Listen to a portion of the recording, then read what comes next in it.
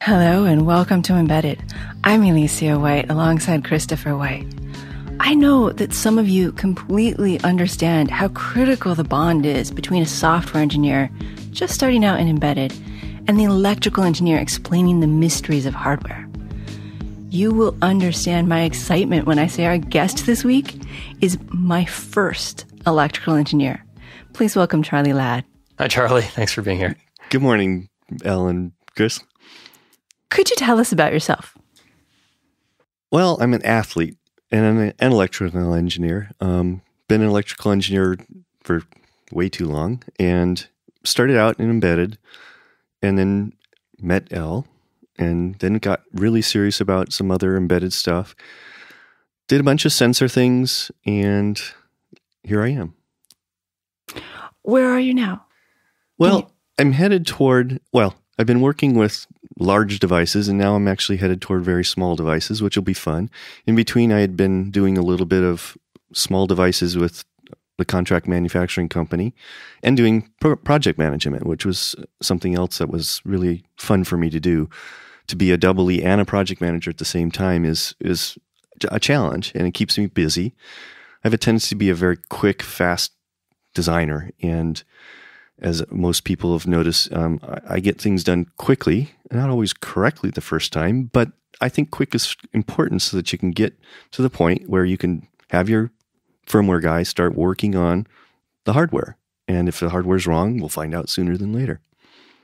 And you've had a pretty varied career between medical and uh, FDA, FDA certified products and FAA certified products, and also lots of consumer products that need to be done oh my god right away. Yeah.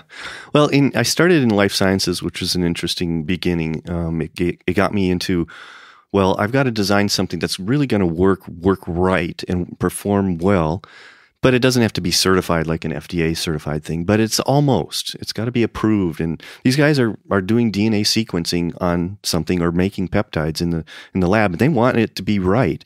So our hardware really has to work right all the time. So that was a good segue into the FAA and the fun stuff that we ended up doing after we did the DNA s- stuff.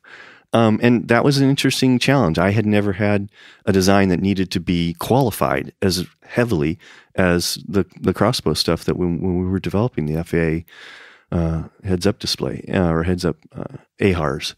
Um, so yeah, that was a new new beginning for me. And then after that, we got into I got into a device comp- or a manufacturing company that was working with medical devices the interesting thing about that was that I didn't have to actually go through the FDA approval process because it was our customer's job to do that.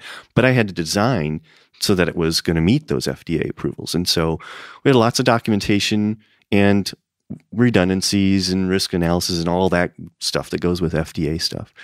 And then, you know, I've done commercial stuff. Um, it's always fun to look up at the bus that's at the San Jose airport, the shuttle bus that goes between the parking lot and say, yep, yeah, I designed that piece of electronics there, and worked with the hardware guys and worked with the uh, uh, the customers' firmware guys, and that's my product up there, and it's kind of pretty cool. So yeah, done lots of stuff like that all over the place. Right. Well, I plan on asking you lots of career questions, so we'll get to more of that. Okay. Uh, but first, I want to do lightning round. You don't seem that excited about this. I had to think about some when you prompted some of the questions. Like, oh, geez, I got to think of what I'm going to say. So you're, going to get me off uh, off guard here, I'm sure. But that's all right. Go ahead. It's true Go because I, I, only give the guests a few of the sample questions. Uh oh. Chris, you want to start? All right, this should be easy. Okay. Favorite movie or book, fiction that you uh, encountered in the last year? Ernest Cline, Ready Player One. Okay. Oh Excellent. yes. See, I had, I had but I had to make sure. So, but yeah, I've been reading actually a lot of um, sci-fi fantasy. Matthew Mather and John Scalzi are just wonderful. So, in fact, I, you introduced me to somebody else in one of your blogs when you wrote it in the summary part, and I can't remember who it was, but anyway. Ah, uh, a favorite fictional robot. Oh, holy moly! Will Robinson. Will Robinson. Danger. Danger. Danger. uh, okay. Preferred voltage. Ooh. believe it or not, 24 volts. And that's because I love, I love working with high power stuff and making things move massive quantities of, of, of weight. So yes, um, I, that was a hard one because I, you know, all the voltages are good, of course. Well, that's a that's a lower voltage than we got from a, a recent podcast that's going to go out of order. So it's not going to make a lot of sense to the listeners, but There's a larger voltage coming up. there's a larger voltage. Yes. Well, you know, apparently automotive is going to go to 36 or 48 one of these days because all the darn electronics in there. So yeah. Would you rather explain ground loops or I squared C protocol? Ooh, ground loops. Yeah. Uh, what are more important to grow at home, hot peppers or tomatoes? Green beans. Oh, sorry, tomatoes. Oh, I, I guess it could have been any vegetable. Beach or mountains? Beach. Uh, Although I bu- grew, grew up in Boulder, Colorado. maker, hacker, tinker, engineer. Engineer. Yeah, that one doesn't shock me. uh, but you do. Uh, so now we're done with lightning round. Um, so you can answer We longer. need like a little Like, audio cue. yeah, that's true. I, I mean, that was a good enough cue. Go ahead. Um, if only we had somebody who wrote music and could make lightning sounds. Yeah, I'll have to talk to that person. So, do you do things outside work? Yeah, actually, a lot of things. A lot of sports things. I, I try to play racquetball a lot, try to play volleyball, though it's been a while since I played.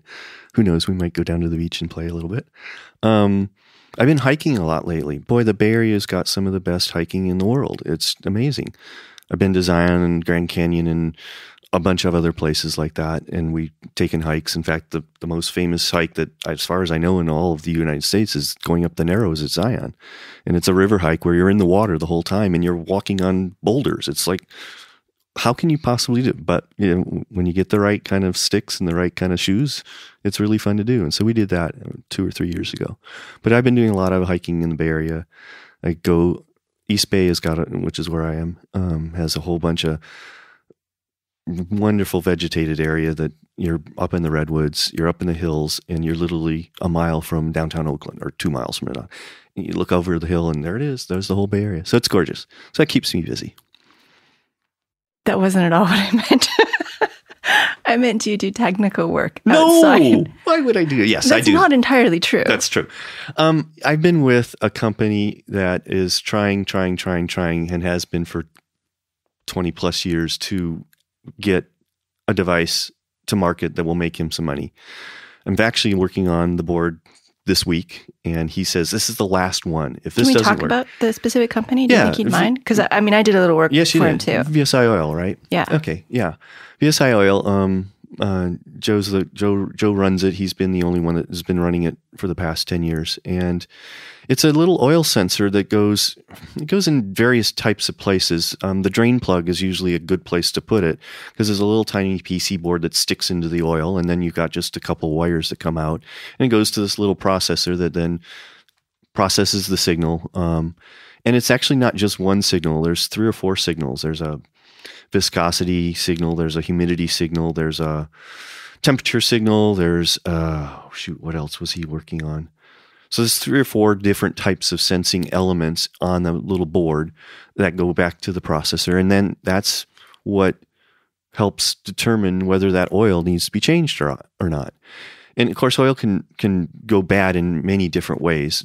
Typically, it's water getting introduced, and so water is a very important sensing element. But it also can just be wear and tear. All the additives that are in oil eventually do decay, and that's when you really need to change your oil. So yeah, that's a, a fascinating sensor. He's been working on it a while. Uh, VSIOil.com. But you usually have a full time regular job, and then this has been Yeah. hobby level ish. Yeah, hobby level.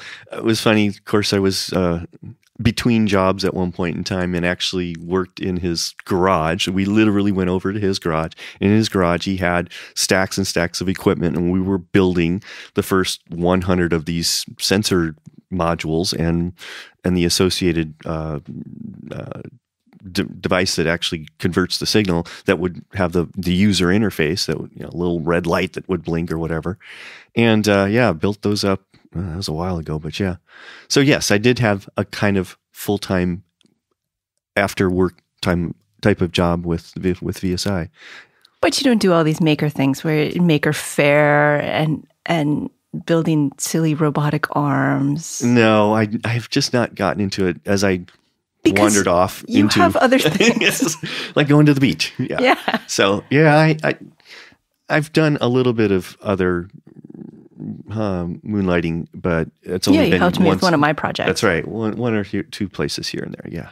You have to know Charlie to get him to work on your stuff. Yes. How do you square that with your full time job? You, when you're changing jobs, you say, "Well, I've got this other long term thing that I've been doing, and that's part of my contract. You should know this." Or I've never Never really comes considered it. Yeah, um, it, it's such a not um, uh, no uh, whatever you want to call it. There's no no reason for anybody. It doesn't interfere with my yeah, yeah. So um, it's just a matter of of. I don't think there'll be, ever be a conflict of interest. So that's the key. So Okay, getting back to the you were my first electrical engineer. Uh, what is important for a software engineer to know about getting down into embedded systems and touching the hardware? I, I mean, in addition to don't put the electronics directly on a metal surface. Um, yeah. Uh, well, the first thing is to make sure that the EE is there when you turn it on, and opposed to you turning it on by yourself, especially if it's the first board. Of course, I'd make sure that I don't let the firmware person even touch the board until I've done a bunch of testing on it, or at least a little bit of testing. Um, but the key for a firmware person to understand when they're first bringing up a brand new board is that they're going to need something to just blink a light. Well, wait, that means that I better put a light on the board that they can blink. Um, I try to put test points that are of interest to the firmware person, whether it be some sort of communication bus so that they can look at the signal on, uh, or at least I can look at it. Um, providing software test points that don't go anywhere. They're just little IO pins that the firmware person can say, "Hey, look at that! It's Yeah, that's a big one. right." Yeah. So, uh, and and recently, one of my firmware engineers has actually asked for like five of them. It's like, what do you need five for? I want to kind of make it into a little state machine so I know which state it's at. Oh, okay. So there you go. Five times two, two to the fifth. That's that's a lot of states. That's good. That's an important. Um, but the other half of for a firmware engineer, a good one is to know how to use a DVM and a scope. Um, and I mean, really know how to use a DVM and understand that you're not measuring AC signals, you're measuring just voltages, and a, a scope so that you can at least get one or two probes on a board and look at what's happening to those signals and see that, in fact, you are going tri state when you're supposed to go tri state and not grounding a pin when it's you know supposed to be tri-state little things like and understanding what the scope's going to show when you do such a thing so those types of of aspects of debugging hardware that a firmware engineer can help out with are really important Is there anything that you do specifically to protect the board from firmware engineers? I'm reminded because I, I read an article that's been going around the internet uh, this week where a junior software engineer came to a new company, which was a web database company, and they gave him some instructions to set up his dev environment. And uh, in the instructions were specific things that were like super user, and then they gave him like a post-it note saying, "Oh, here are the real things you should use."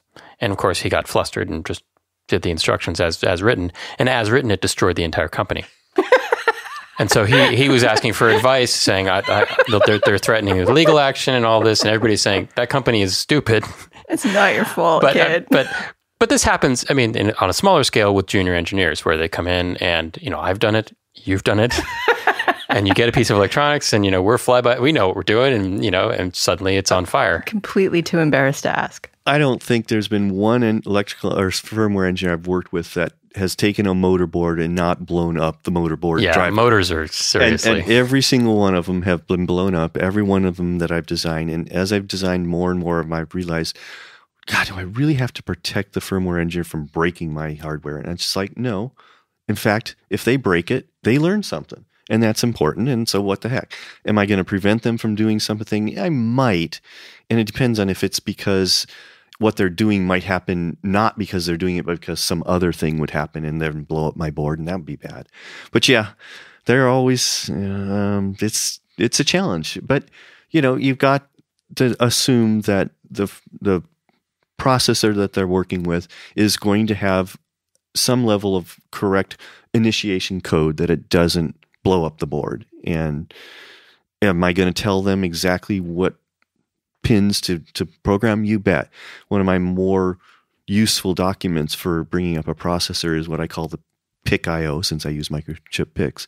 And I put every single IO pin uh, in an Excel spreadsheet in one column. Another column has the pin number.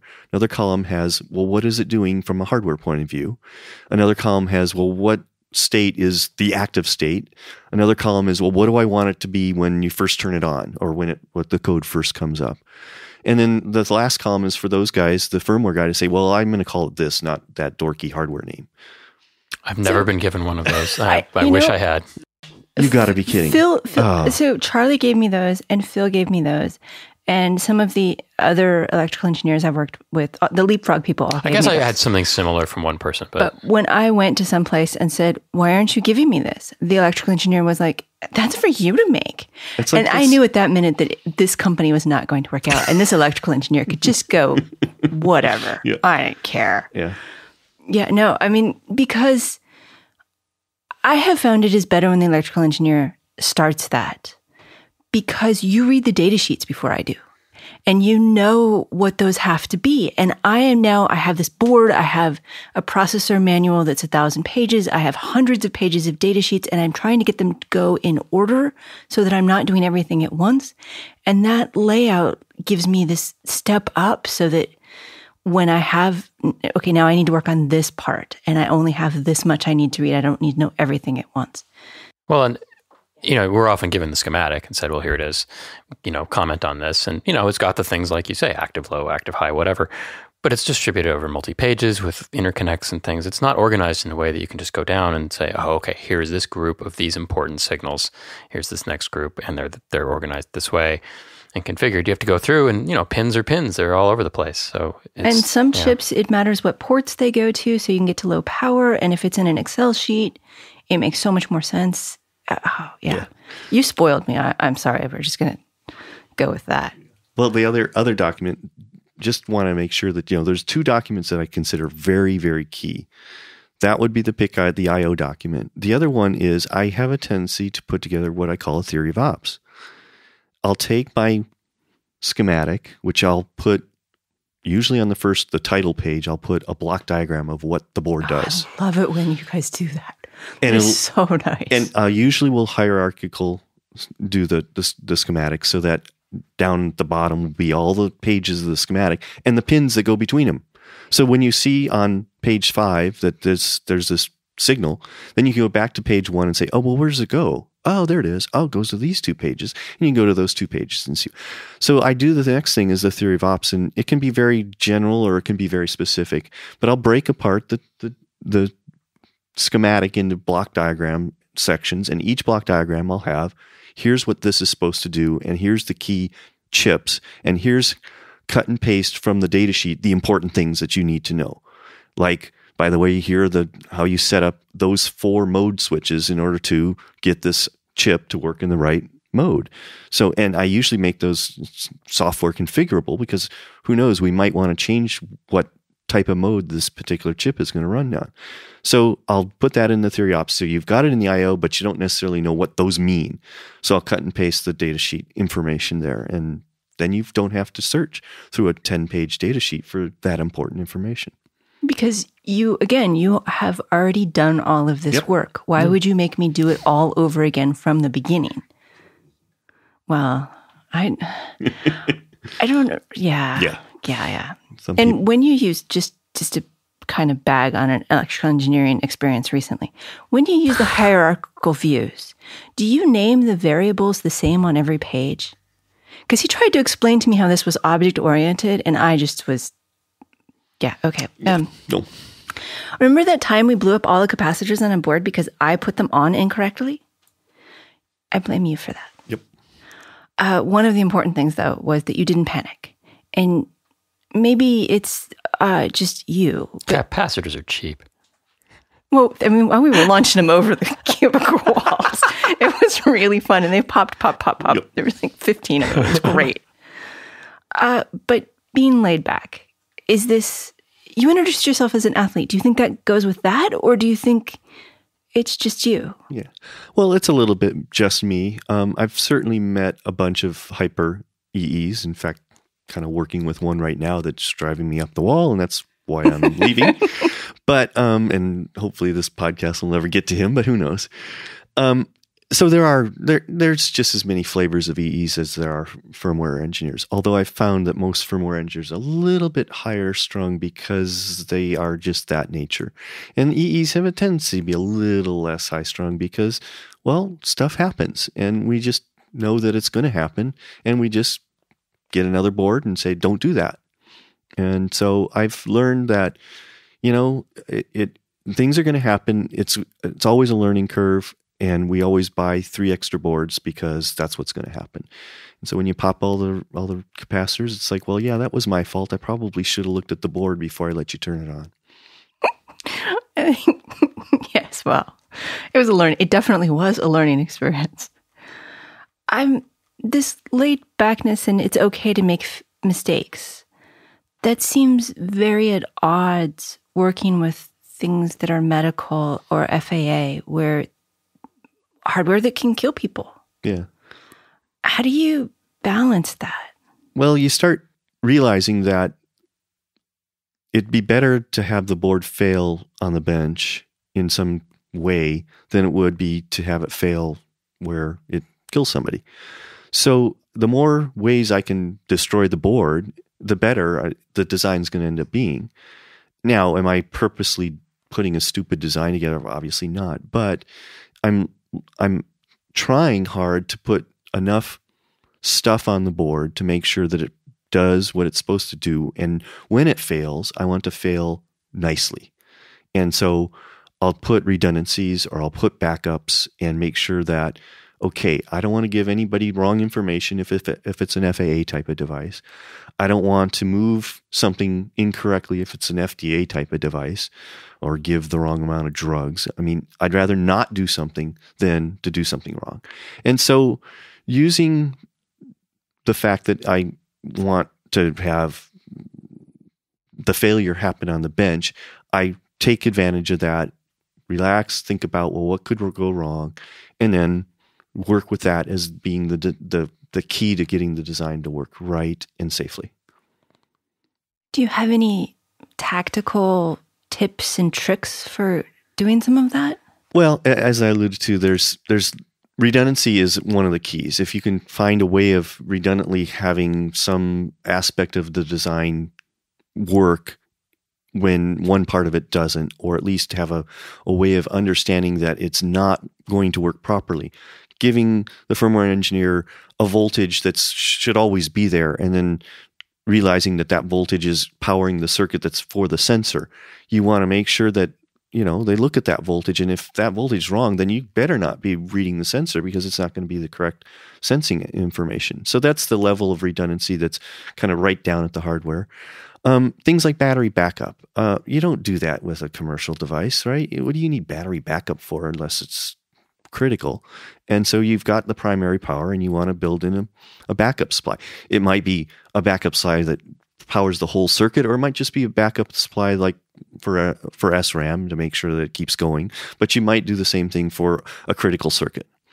Um, fuses, resettable fuses are cool, man. It, you you go out there, some something happens that's out external to my board, and it it fails, um, I, I want to be able to save my board, not have it go down just because something external to me failed. So I put a fuse, preferably a resettable fuse that that then you know the software is going to say, you know that that's not that voltage doesn't exist out there. What's wrong? And so you can flag an error, and then you've got a safe device again. It doesn't blow up anything, and you don't do something that you shouldn't do if you don't have that information.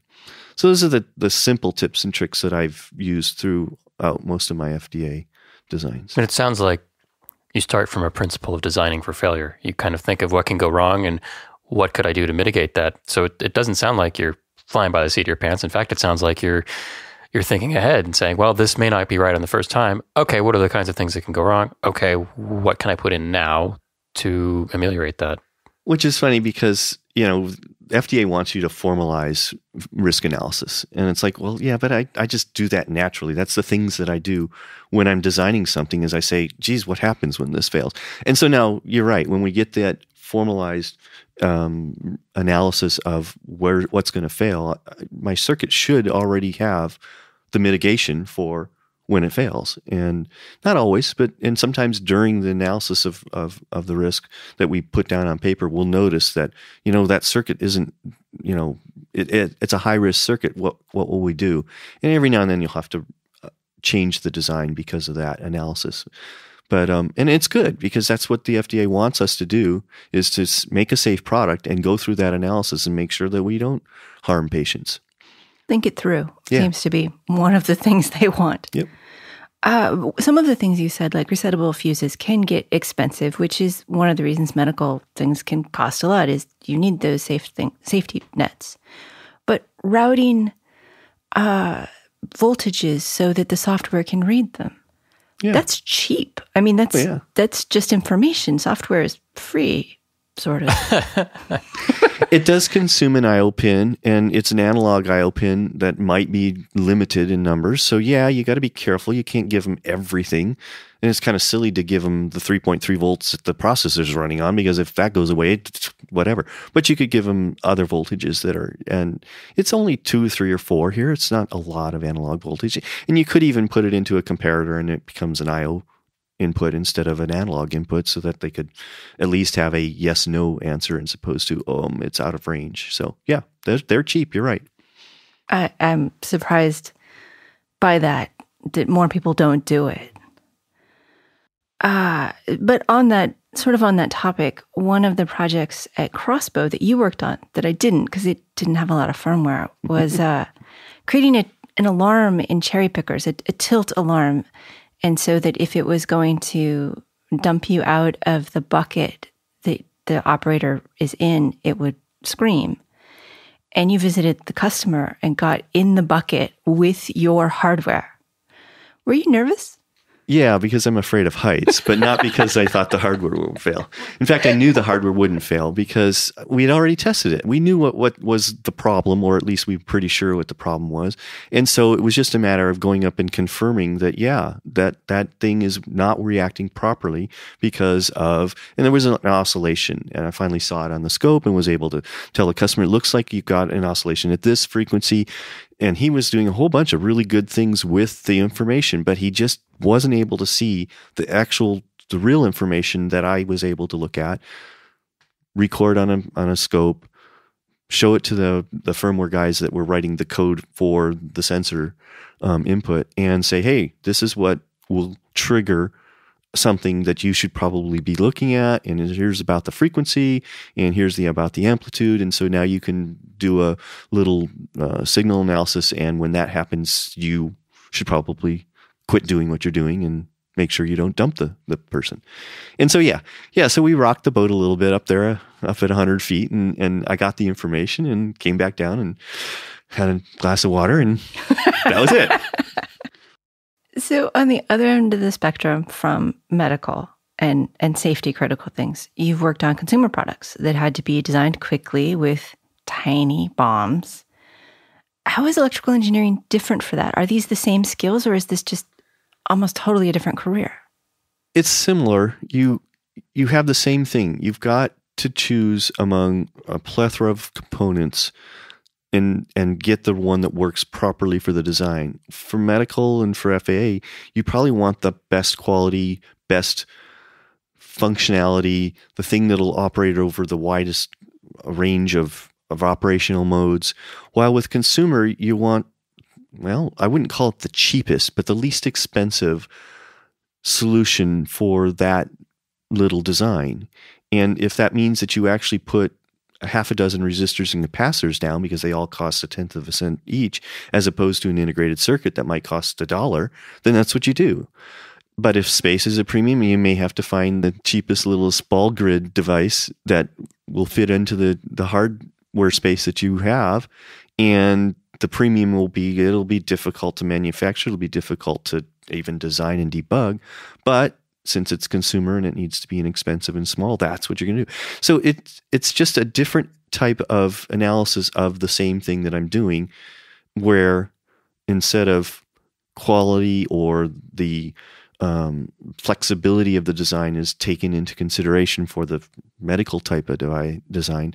It's the it does it, it gets the job done, and it's fairly inexpensive. So similar process, but different parameters. That's right. This really that is it. Cool. You've been an engineer and you've been a project manager, and I know you kind of enjoyed the project management part. Uh, but now you're mostly an engineer again? Yeah. Um, I can do the little story. Um, way back when I was at the life sciences company Applied Biosystems, I uh, worked with a, a, chemist and we came up with a cool idea for a new product and we worked on it and realized that we we're going to do a product development.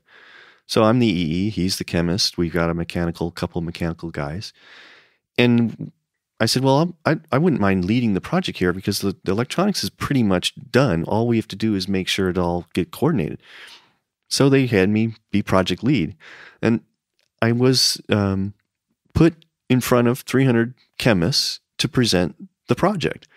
And there I was standing up on a, a pseudo stage and they would do this quarterly and they finally picked my pro and so i realized that i can do this i can actually lead a project stand in front of my peers, explain what we're doing, and I enjoyed it.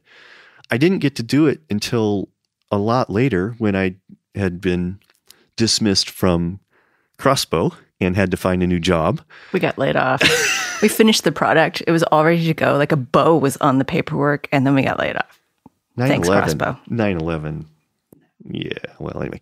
Um, and I got a job at Flextronics, which is a contract manufacturer, and I was hired to just do double E stuff. Um, and these were where the little projects, like the commercial projects, came along.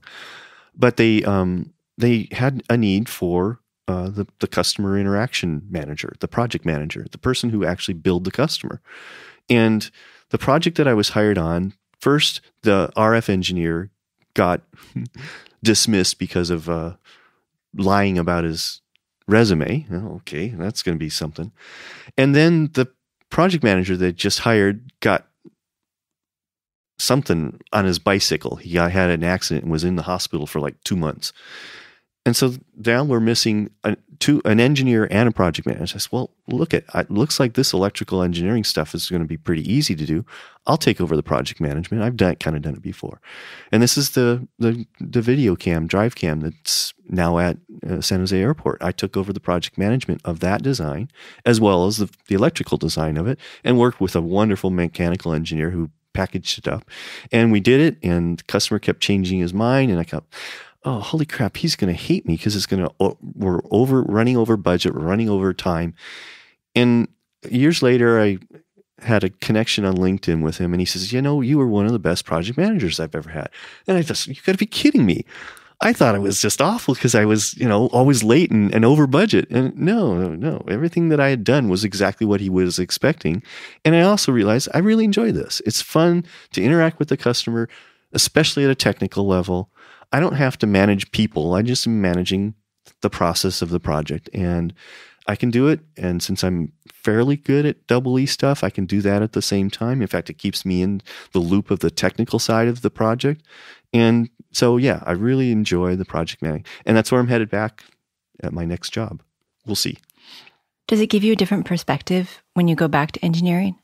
I mean, if you are just being an engineer, and yet you can kind of now you you know how it's all supposed to go. What would you what would you tell us engineers who kind of wonder what the hell is a project manager doing and and what is this for and why know. do they keep asking me to hurry up? Good project managers will provide information to the engineer that says here is what you are going to need to be doing for the next say 2 weeks. And I want you to do this because that, it turns out, is part of the critical path of the project. You can postpone the other parts that you're working on because those aren't the critical path. And that's my job as a project manager is to say, here's the critical path. In fact, the real job of a good project manager is to make everybody on the critical path. yes, yes, indeed. and, and, then you make it into a little horse race, but that's another thing. Um, and and but the good project manager will will provide all the engineers the right information so that they can actually get their part of the project done and provide the connections between the mechanical and the firmware and the electrical because nobody else is providing that conduit between the engineers other than the project manager. He'll be very good at trying to tell you what the milestone is, not what the milestone when it is. That's easy. You just say, "Hey, it's due in 2 weeks." But you want to tell all the engineers that milestone represents whatever it is. It's a beta product and it has to have this functionality. And we've all agreed on that because that's what needs to be done to get to the next step stage of the project. And so, yeah, project manager can be kind of a pain in the butt because he's telling you you should have had it done yesterday. But if he's having to tell you that, it's because either you're not doing the right thing or you don't have the right information to do what you need to do. So, what's the difference between a product manager and a project manager? Because I, I, get confused between those things. I, it, at the companies I've been at, the product manager is the person who, I usually in marketing, who, okay. um, yeah, who who's his helping the project team build the right product. Specifically, at medical, and I don't know if you've ever talked about it. I think you have. A, a, medical product has an intended use, and that's a very important part of medical designs. And the product manager is usually who's spelling out like black and white what the intended use is. And if you want to put other bells and whistles as an engineer, as we all love to do for that product, uh, you know that's not that's fine but that's not what the product is supposed to be doing it's supposed to have this intended use and to put a little light on there that says oh this is really cool you know that's fine but that's not necessarily what the product needs to do. And that's what the product manager at least in my experience would do is keep us focused on what the, the product is supposed to be in the end. And the project manager is just trying to get you to that end by way of organizing how the tasks of the project are supposed to be done. You mentioned uh, explaining milestones and telling people about critical paths most of my goals with product management, project management, are not to say you need it done by next Tuesday, but to let them figure that out themselves. I know that that's some of my style is just like, it's cool. I, I don't need to tell you the date.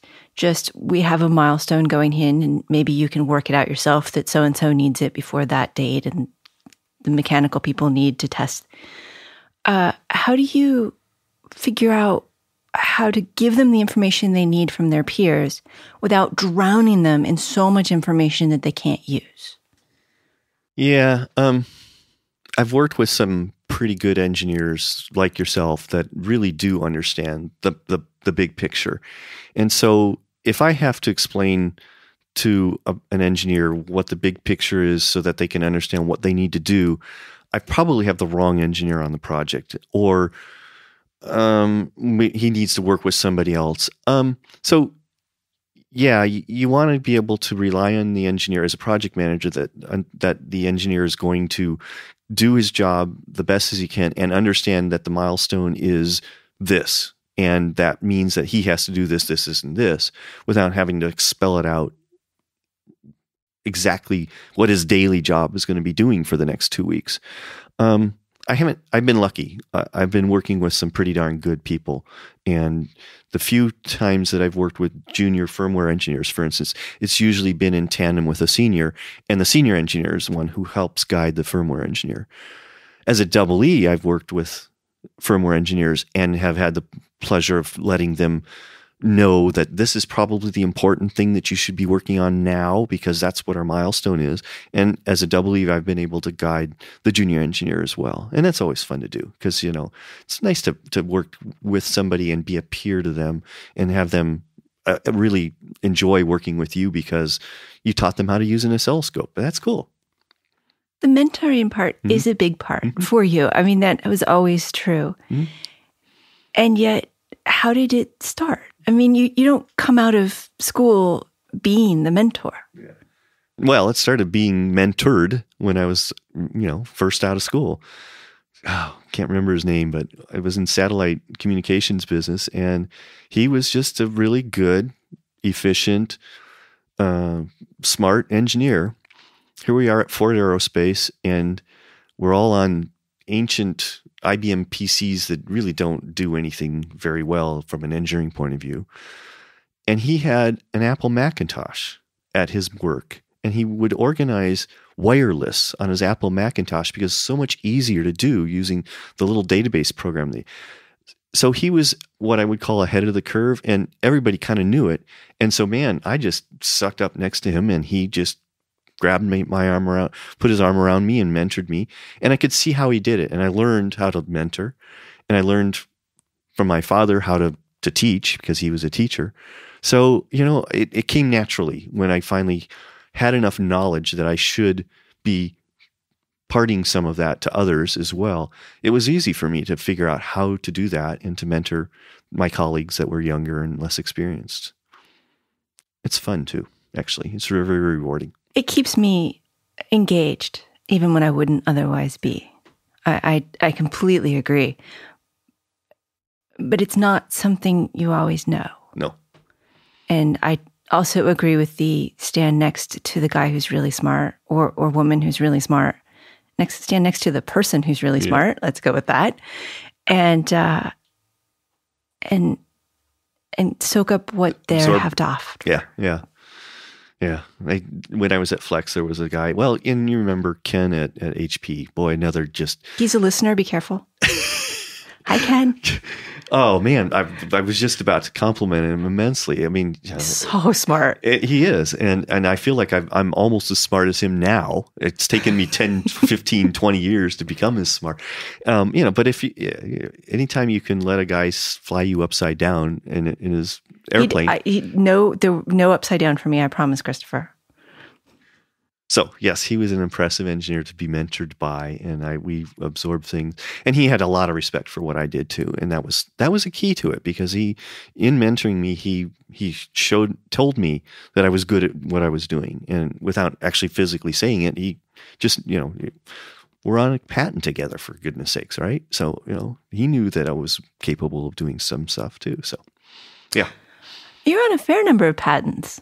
No, not that many, just four. Just four. Yeah.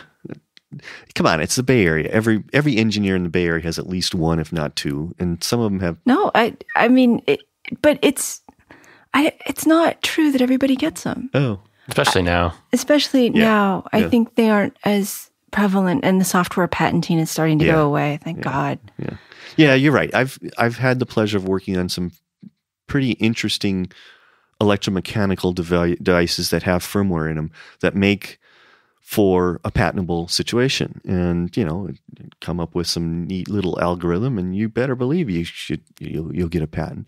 Um, yeah I, let's see. It, there's been i think it's four and i'm just now I, yeah. Yeah and, I, and I just was told i'm on another patent application that we're going to be putting in and it's it's cool it's it's neat. Used to be you'd get a big bonus when you got a patent. uh, 20 years ago. Now is nothing. Yep and I won't get that bonus because I'm not going to be there when it gets issued if it does. So we'll see. I have a listener question, and for one of the reasons that I finally nagged you into joining us, uh, we have had shows. One of the favorite shows from our listeners is Jack Ganssle's uh, "Being a Grown Up Engineer," being a grown up firmware engineer.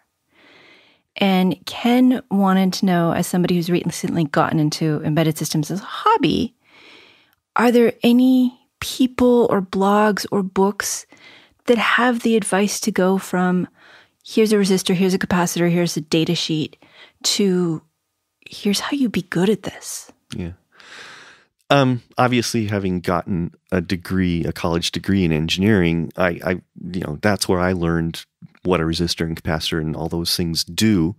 But those those are not difficult things to do. In fact, in fact my mom is just now taking a class, a, a, a, video class, online video class on electronics. And she had a question for me the other day when I had dinner with her. Um, I don't understand how this resistor divider works. and I said, well, um, you know, and we went through it. And so there are lots of classes that you can take that are online. I wouldn't know of them in particular, but um, there's other places where I've learned a lot of my current trade. Um, eeweb.com is an interesting one that is um, always got information about the latest stuff that's out there. Um, there are the trade magazines, EDN and ECN and EE Design are the three that are are the the big ones for um, that I'm aware of. What else is there? Uh, I can't think of that. There's enough stuff. Um, and, and, like I said, I, I, alluded to the technical magazines. I I tried. I actually get a physical technical magazine, two of them sent to my my home, so that I can take them to work and peruse them at lunch, and just you know, I'll take one of them and and at a lunch just go through the whole thing zip through every page. And then when I see something that's interesting, an article that might be interesting, I'll rip it out and then read it at, a, at another time. Um, same thing with the, the, the ones that are online. If it's an interesting article, I might click on it and read some of it. Um, a lot of times they'll be introducing a new new something or other, new IC or a new uh, uh, type of board that that does something special that I might be interested in. Of course, the Internet of Things is just going berserk, and I haven't gotten into that yet, but there's a whole bunch of stuff about those. And then the other thing I was thinking about, just remembered, is that you can go to um, Newark or DigiKey, and there's a whole bunch of development boards, and there some of them are really, really inexpensive, and they are. One of the ones that I remember seeing had like five or six different sensors on the board that would allow you to play with all kinds of different inputs and outputs on the board without having to do much more than just turn it on and connect it to your PC using a USB port. And all you'll you'll see on those development boards the electronics that is used or needed to connect those sensors to that I, I um, to that microprocessor. And what better way to learn than to copy somebody else's working circuit and then see why it works the way it is you'll get the IC and you can go to the data sheet and they usually have app notes about it. And so you you can go to a, a an IC manufacturer's uh, website and look for their development boards. They'll usually have them in one big section. Or you can go to DigiKey or Newark, uh, which I find both Newark and DigiKey just a plethora of information because they even have all kinds of videos on on how how to use their various parts that they're selling. And you know, there you go. You've got an uh, already designed circuit that you can then um, snarf up and play with. And it's a tested circuit. It is, yeah. Which is kind of nice. It may not be the most efficient one, although some of the vendors have boards where they show off their power efficiencies. Okay, well, then they're going to design their hardware the way they want it designed. Yep. yep. So, and a lot of those dev boards have a bunch of test points and a bunch of ways of of modifying them that they explain very quick, you know, very well in, in the in there and say, I know you don't want this voltage, but if you want to change it to this voltage, here's what you do. Hmm. Um, I, I, know you don't want that frequency of of low pass filter. You can just change these two components, and you got a different uh, frequency. And here's the computations for them. Um, so many of the things you listed are, I mean, they're trade magazines, they're mostly ads. Well, yeah. And that's important because you want to look at that ad and say, well, am I interested? And if you're not, don't worry about it. But yes, they're ads for something that's now available. I don't know how else to keep up with all the plethora of new stuff that comes out every single day in electronics, other than to look at a bunch of ads that say, "Here's the here's my new IC, here's my new inductor, here's my new PC board, uh, buy me. And it's like, well, why do I want to buy you? Oh, well, okay, I'll look at the, the, information, and if it intrigues me, then I will go to the website and and actually look at the data sheet or or look at um, the notes for how it's used and and yeah, it is a bunch of ads. There's some interesting articles once in a while in there that are actually useful, um, but those ads are equally as important. How has electrical engineering changed in the last 20 years? Well, as I was just alluding to, things like the plethora of different components has just gotten, you know, astronomical. Processors, there there used to be 20, 30, 40 different processors and that's all you had to choose from. You know, pick a Motorola, you pick a TI or you pick somebody else and that was it. Now we've got Microchip must have a couple hundred versions of of each of their microprocessors that have all kinds of different uh, embedded uh, parts to it. And I don't know how you know that that's just something that has changed drastically in the last 20 years is the capabilities of of ICs. Um,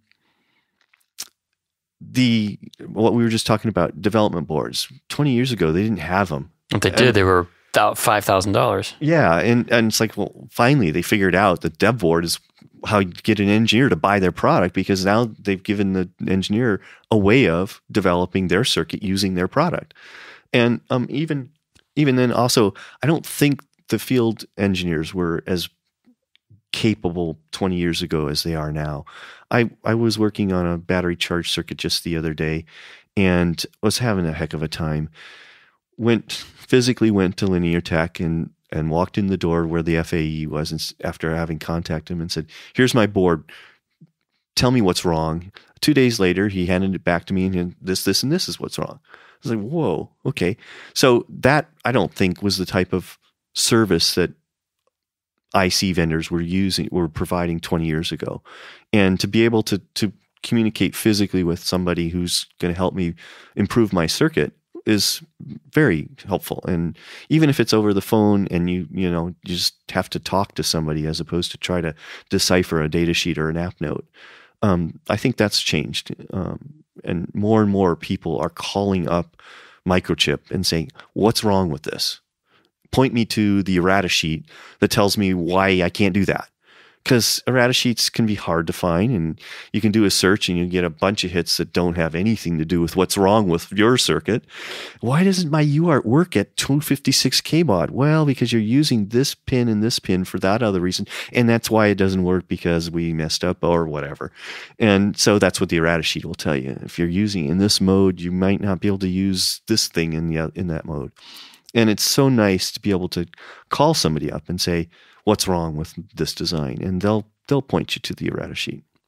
That's funny. I never think of actually calling someone. I, I have a hard time even emailing my FAEs. I spend so much time on forums and looking around and figuring it's my fault. And forums can be useful. And that's certainly the first place to start because, I mean, yeah. you know, you don't want to necessarily be calling your FAE every time you have a problem, but 20 years ago, you couldn't. They really didn't exist as being a resource, and forums didn't exist either. And so you were stuck with trying to find the errata data sheet that and that would tell you what was wrong, and that's that's definitely a, a big difference. Of course, there was an internet there then, but there was no YouTube, so no. you couldn't just have yeah. somebody explain it to you course, 20 years ago, I could actually see the resistors and capacitors too. So that's that's a little difference that's, that's occurred in the past is 20 it the resistor and capacitor's fault or is it Charlie's fault? My eyes are not getting that bad.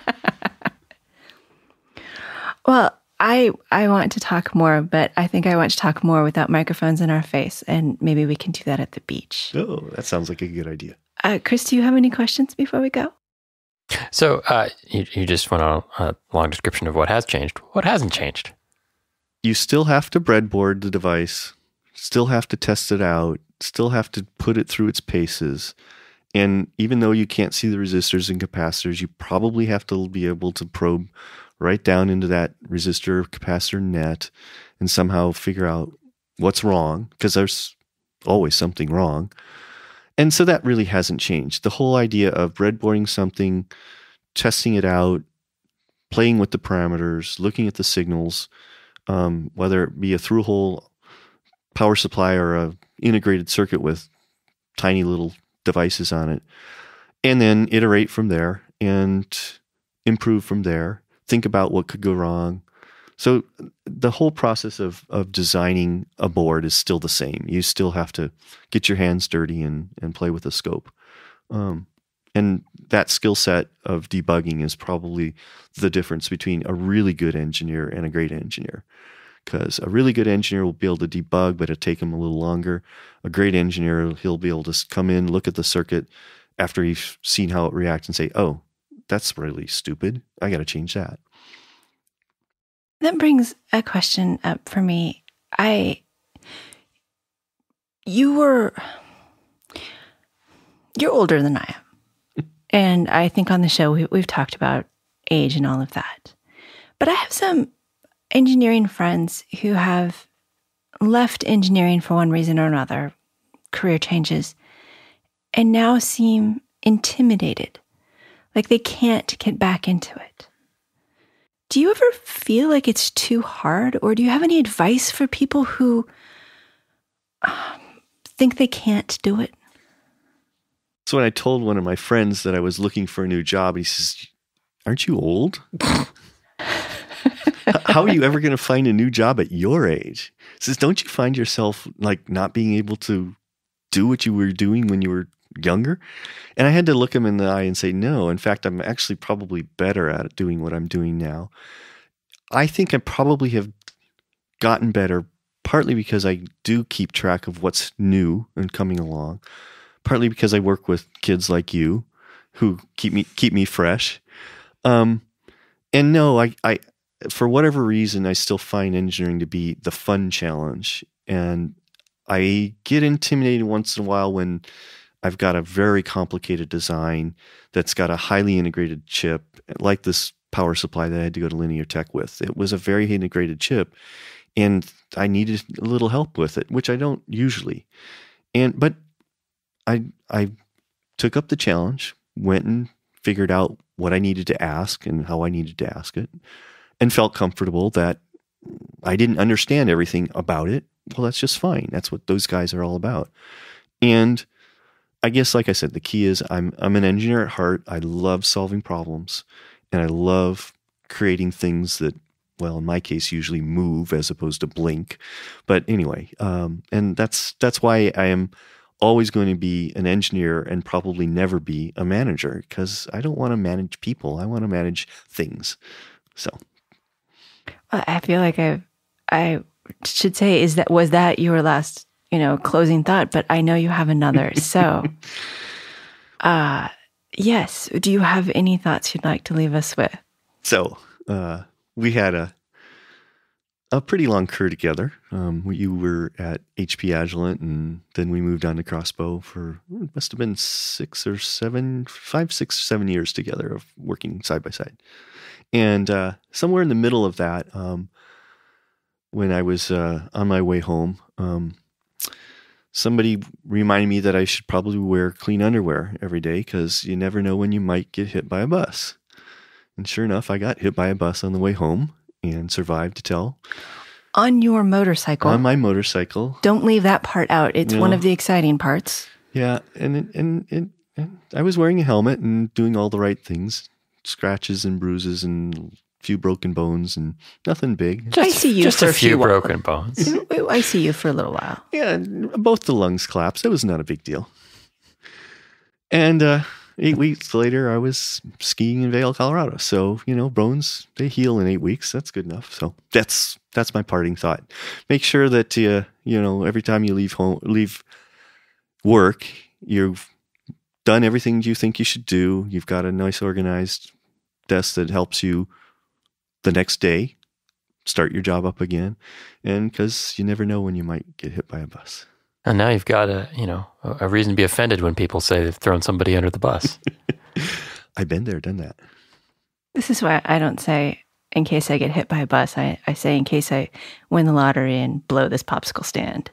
Because, yeah, we stopped using that phrase at HP. sorry All right. Our guest has been Charlie Ladd, Principal Electrical Engineer. Thank you for being with us, Charlie. my pleasure Also, thank you to Christopher for producing and co hosting. Thank you to Digilent for their 15% off coupon, Embedded FM, good for the month of June. Ah, thank you to Patreon subs- supporters for your support and letting me email mics and stickers around the world. And of course, thank you for listening. My final thought this week comes from E.B. White. That's Charlotte's Web. Why did you do all this for me? He asked. I don't deserve it. I've never done anything for you. You've been my friend, replied Charlotte. That in itself is a tremendous thing. Embedded is an independently produced radio show that focuses on the many aspects of engineering. It is a production of Logical Elegance, an embedded software consulting company in California. If there are advertisements in the show, we did not put them there and do not receive money from them. At this time, our sponsors are Logical Elegance and listeners like you.